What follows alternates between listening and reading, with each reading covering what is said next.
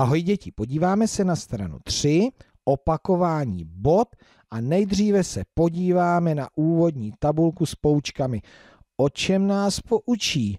Body vyznačujeme o vyznačování bodů. Mhm, tak ano, poprosím Teresku, aby mi tady na tom videu to všechno představila. Tak Teresko, bod.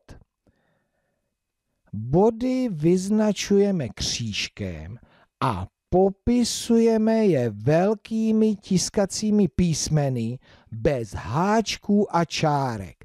Tak, určitě nám to Tereska ukáže. Tady je ten křížek a tady je to označení. Body na čáře vyznačujeme krátkou čarou. Tak, jak to bude? Přímá čára, aha, a tady jsou ty krátké čáry, bod je označen velkým tiskacím písmenem, bez háčků a bez čárek, ale pozor, tady ty čárky tvoří také takový křížek. Tak budeme pokračovat dál.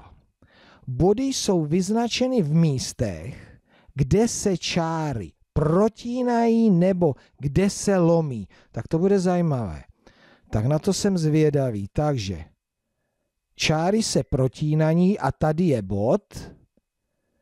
Tady se čára lomí a zde je bod.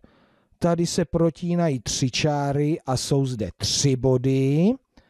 A tady se lomí ta čára dokola, vytváří čtverec a vlastně jejich vrcholy toho čtverce jsou také body. Takže tady je schrnutí. Body vyznačujeme křížkem a bod je tady ten prostředek a popisujeme velkým tiskacím písmenem.